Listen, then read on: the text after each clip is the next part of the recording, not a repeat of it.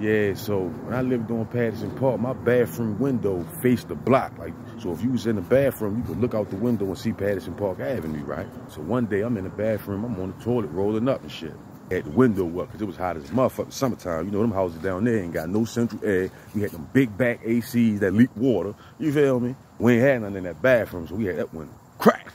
But anyway, I'm on the toilet minding my business, right? And I started hearing these voices like coming towards my house, coming down the street for real. But you know, I'm a nosy nigga, so I'm listening, sitting there twisting my blunt. And I just hear a nigga in a low voice, but I could still hear him clear, but he was trying to speak in a low tone. I just hear a nigga like, yeah, man, what I'm gonna do, I'm gonna hit the cut right there, hit the split, you go this way, I'm gonna go that way.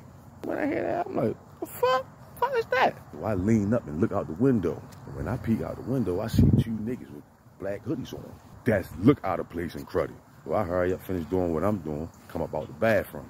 Go in the room, I tell my cousin, like, yo, I think something right happened around this bitch. You heard me. He like, why you say that? Well, I tells him what I hear while I'm in the bathroom. He like, you ain't see them niggas' face? He like, no, I seen the back up and they had hoodies on and shit. He like, yo, come on, let's grab the poles, yo, go around the corner, make sure it ain't nobody we fuck with, man. I'm thinking like, damn, we fuck around, get in around that bitch and walk into some shit for real. But he was right for real. So I'm like, fuck, we grab, we grabbed the poles, went on here, went around there real fast. So as we leaving out the house, nigga, we didn't even make it off the fucking steps. Go ahead on tuck the poles. Soon as we get to the front door, just get to hearing them bitches boom, boom, boom, boom, boom, boom, boom, boom, boom, boom, boom. As a reflex, I hurry up and slam the door. Boom. That shit sound like it was out front. I don't know what the fuck they had, but them niggas had some army guns, man. My cousin like, yo, what the fuck, yo, you wasn't lying, yo. So after like 20 something shots went off, we get up off the floor because we hit the motherfucking deck.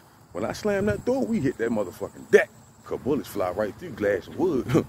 Man, by the time we get up off that floor, I hurry up and run to the window and look out the window. We just see them niggas running off Port Street. The same two niggas with the black hoodies on. Niggas had them bitches in their hand, smoking. They had another nigga driving. But as soon as them two ran up off of Port Street, the nigga pulled up on Patterson Park, skirt, and they hopped in the fucking car, peeled the fuck off. Niggas lit Port Street up. I ain't see it with my eyes like the actual shooting, but I heard the whole fucking thing. And I seen them getting away. After the car pulled off, you just see niggas coming up, coming from off Port Street with blicks in their hand, looking around like, fuck that nigga go at, man. They looking around. But they was niggas we ain't know like that.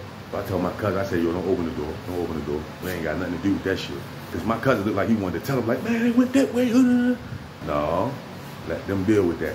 But these are the type of evenings you had living on Patterson Park up that hill, man. Shit real up there. The blink of an eye. That block went from quiet to gunshots, ambulances, and polices, fire trucks, and shit everywhere in a blink of an eye. That's how be happening. East Baltimore dangerous, man. Like I said, you don't need no TV to watch The Wire.